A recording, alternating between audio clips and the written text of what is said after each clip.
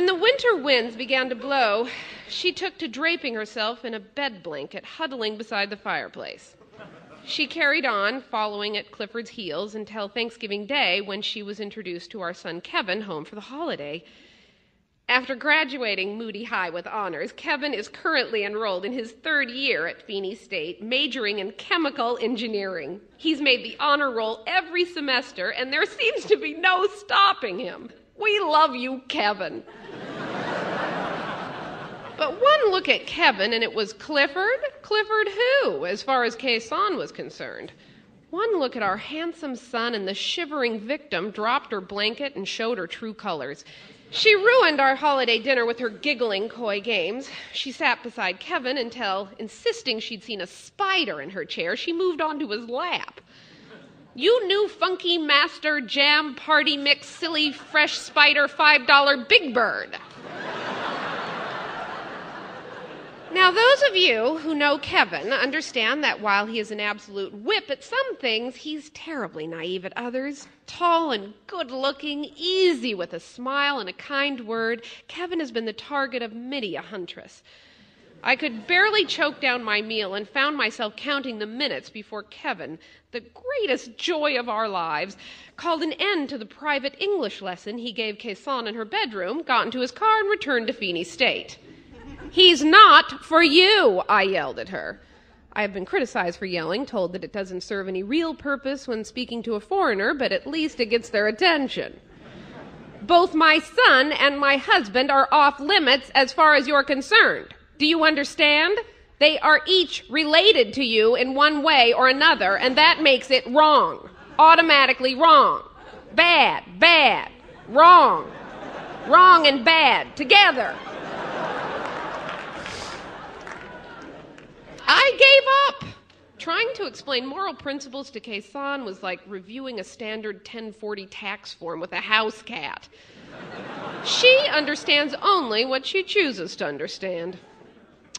We were approaching Christmas, December 16th, when I made the thoughtless mistake of asking her to watch the child while I ran some errands.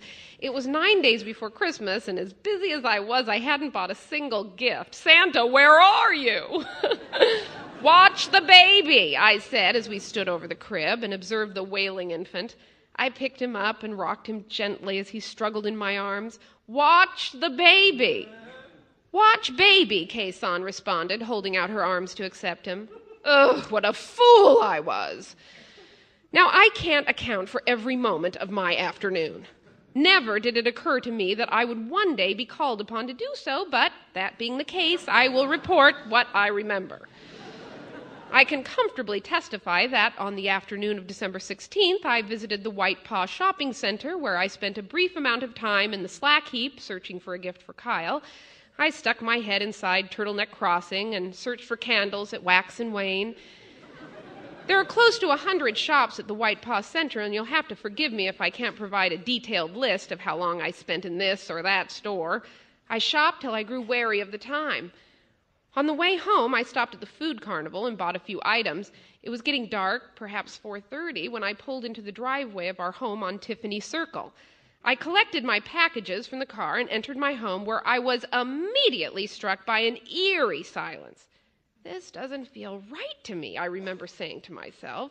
It was intuition, a mother's intuition, that unexplainable language of the senses. Something is wrong, I said to myself. Something is terribly, terribly wrong. Before calling out for Khe Sahn or checking on the baby, I instinctively phoned the police. And then I stood there, stock still in the living room, staring at my shopping bags until they arrived. 27 minutes later, at the sound of the squad car in the driveway, Khe Sahn made an entrance, parading down the stairs in a black lace half slip and a choker made from the cuff of Kevin's old choir robe. Where is the baby? I asked her. Where is Dawn? We combed the entire house, the officers and I, before finally finding the helpless baby in the laundry room, warm but lifeless in the dryer. The autopsy later revealed that Dawn had also been subjected to a wash cycle hot wash, cold rinse. He died long before the spin cycle, which I suppose is the only blessing to be had in this entire ugly episode. The shock and horror that followed Don's death are something I would rather not recount. Calling our children to report the news, watching the baby's body small as a loaf of bread as it was zipped into the heavy plastic bag. This image has nothing to do with the merriment of Christmas, and I hope my mention of them will not dampen your spirits at this most special and glittery time of the year. The evening of December 16th was a very dark hour for the Dunbar family. At least with Khe Sahn in police custody, we could grieve privately consoling ourselves with the belief that justice had been carried out. The bitter tears were still wet upon our faces when the police returned to Tiffany Circle, where they began their ruthless questioning of yours truly. Through the aid of an interpreter, Khe Sahn had spent a sleepless night at police headquarters constructing a story of unspeakable lies and betrayal. While I'm not at liberty to discuss her exact testimony, allow me to voice my disappointment that anyone, let alone the police, would even think of taking Khe Sahn's word over my own. How could I have placed a helpless child into the washing machine? And even if I were cruel enough to do such a thing, when would I have found the time? I was out shopping. You may have read that our so called neighbor, Cherise Claremont Shea, reported that she witnessed me leaving my home at around 1.15 on the afternoon of December 16th, and then 20 minutes later allegedly park my car on the far corner of Tiffany and Papa George and, in her words, creep through her backyard and in through my basement door. Well, if the makeup she applies is any indication of her vision, then I believe it is safe to say she can't see two inches in front of her much less testify to the identity of someone she might think she's seen crossing her yard. She's on pills, everybody knows that. She's desperate for attention, and I might pity her under different circumstances. Cherise Claremont Shea has no more sense than a hand puppet. She has three names. These charges, of course, are ridiculous, yet I must take them seriously as my very life may be at stake.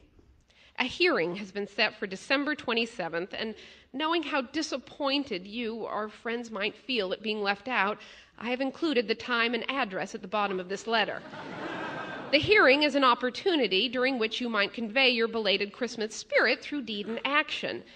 That heartfelt concern, that desire to stand by your friends and family, is the very foundation upon which we celebrate the Christmas season, isn't it?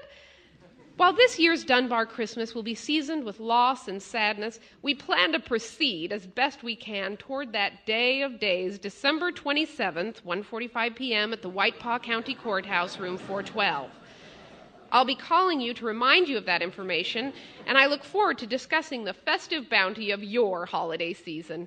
Until that time, we wish the best to you and yours. Merry Christmas, the Dunbars.